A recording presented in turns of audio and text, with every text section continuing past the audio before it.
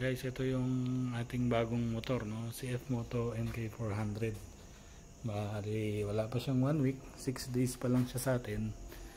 Ayan. Kumuha tayo sa Motorcycle City Santa Maria. Ang napili natin color is yung yung white with touch of blue. Yung other color na available yung yung all black with touch of yellow, no? Uh, pero mas gusto ko tong color na to kasi parang mas mukhang mas malaki no? Mas mukha siyang big bike. Kaya ito yung napili ko no?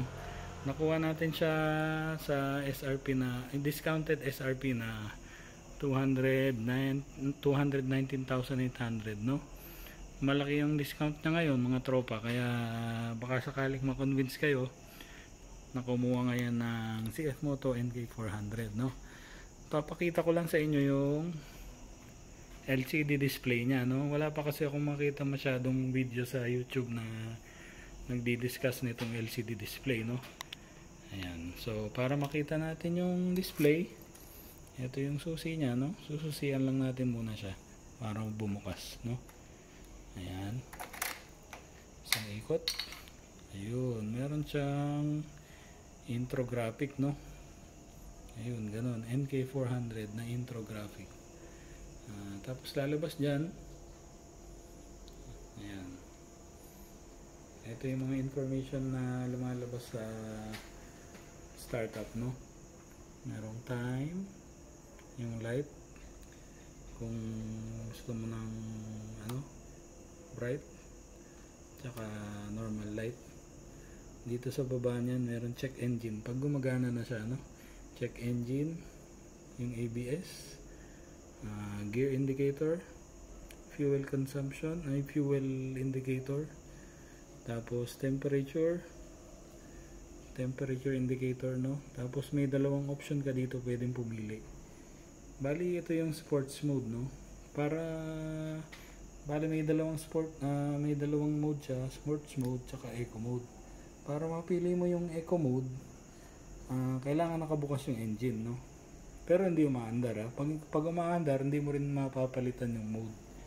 Kailangan naka neutral ka lang naka idle lang para mapalitan mo yung mode mo. So ngayon nasa sports mode tayo. Ang display niya ayan dito yung speedometer dito yung tachometer no? Para mapunta tayo sa settings niya ito yung controls niya ng ating LCD display no? Para mapunta ka sa menu long press mo lang yung enter. Ayan no? So yun ang lalabas ngayon. Meron dyan information navigation telephone tsaka settings. Para makapili ka dyan ito pwede kang mag up and down. Up and down. So information press enter lalabas. Meron dyan battery voltage coolant temperature yung uh, engine warning kung meron tsaka yung service interval no? Uh, yung coolant temperature gagana lang yan pag ano pagka nakabukas na yung engine no? Lalabas dyan yung temperature nya so pag nagpapainit uh, makikita mo siya kung pwede ka na umandar. Sabi nung sa kasa uh, above 60 degrees Celsius ang ano kailangan na temperature para paganahin mo na siya. No, yun ang optimum temperature. Tapos meron dyan ayan battery voltage. So balik na tayo dun sa simula. Navigation. Itong navigation eh work in progress pa daw to So, ayan. Pag in-enter mo yan, ayan. Download the app. Actually, yung CF Moto na app ang ano pa. Yung work in progress. No? Pag in-install mo siya, hindi mo pa siya magagamit. So, in the future, sana, ayun, mapagana na nila para magamit natin to. Tapos, next, telephone, ayan. Pwede mo i-connect yung phone mo via Bluetooth para ma-receive, maka-receive ka dito ng notifications like text message or kung may tumatawag, ayan, lalabas dyan sa screen ng motor natin. Para bumalik ka nga pala dun sa ano, kailangan press mo tong back dun sa previous menu, no?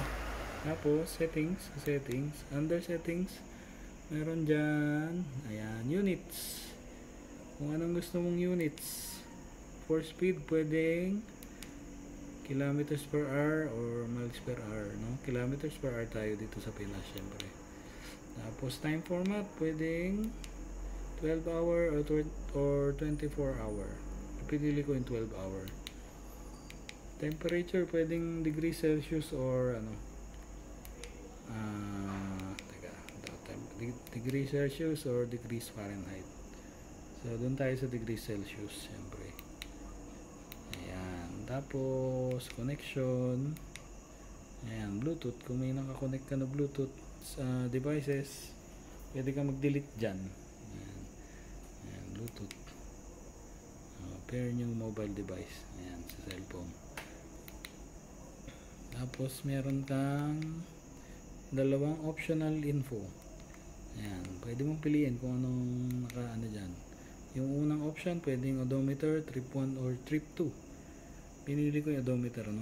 Tapos, ayan. Yung pangalawa, pwedeng yung voltage or ano, uh, fuel economy or riding time. Ayan, meron pa ba iba? Ayan, consumption 1, consumption 2. Ayan. Ayan. Pwede kang pwede mong pumili ng ano bawat trip mo pwede kang pumili ng consumption niya. Piliin natin yung instant fuel economy. Ayan. So, balik tayo dun sa ano. Tingnan natin yung Ayan. O, lalabas dyan yung liters per 100 kilometer, no? Yan yung units niya. Wala siyang kilometers per liter, no? So, kung ano yung number na lalabas dyan, no, 100 divided by yung number na yun. Ganun lang para makuha mo yung ano, kilometers per liter niya, no? Ayan, no? Yung isang display natin, yung optional, yung odometer, no? Nakaka 108 kilometers pa lang tayo. Dahil puro practice lang muna ang ginagawa natin, no? Wala pa tayong ORCR. Hindi pa tayo pwede lumabas ng malayo. Ayun. So, ayan. Ah, try natin siyang i-start, no? I-start ko siya para makita nyo na yung ano naman, yung economy, no? Economy mode naman na display. Ito, sports mode yan. Ayan, itsura na yan. Ayan, ano, hindi naman pala ta, hindi naman pala ta siya kailangan i-start para makapunta ka sa economy mode. Ayan. Ah, lalagay mo lang siya sa ready mode, no? Hindi mo kailangan i-start. Ayan, ito yung itsura ng economy mode niya. Ayan, compared sa sports mode, medyo tame yung ano niya, no? Yung display. Ayan yung economy mode, ayan yung sports mode. Dito yung select ng mode. Ayan. Oh, sports mode, economy mode. Ayan. Ang display niya, dito naman yung time din, gear indicator, ah, speedometer, tapos nasa gilid yung ano niya, tachometer dito. Tapos fuel ano, fuel gauge dito. Tapos temperature gauge doon. Ayan. So, ayan ang itsura ng economy mode, no? May, ah, meron din siyang optional display, dalawa. Pwedeng odometer, sa kabila, ganun din, yung fuel consumption, no? Ang settings niya, ganun din. Long press enter para mapunta doon. Ayan. Information, navigation, settings. Ah, parehas na parehas din. Ah. Ayan. Ganun din. Ayan. So, ayan yung ano. ah, LCD display niya. At least na feature ka siya. ah, wala pa kasi masyadong nagpi-feature sa kanya sa YouTube, no? Sana nagustuhan niyo po yung ah, video na to. Sa mga nakapanood, please like like and subscribe po sa channel natin para yun, tuloy-tuloy tayo makagawa ng videos, no? Salamat po at ride safe mga katropa. Ingat po.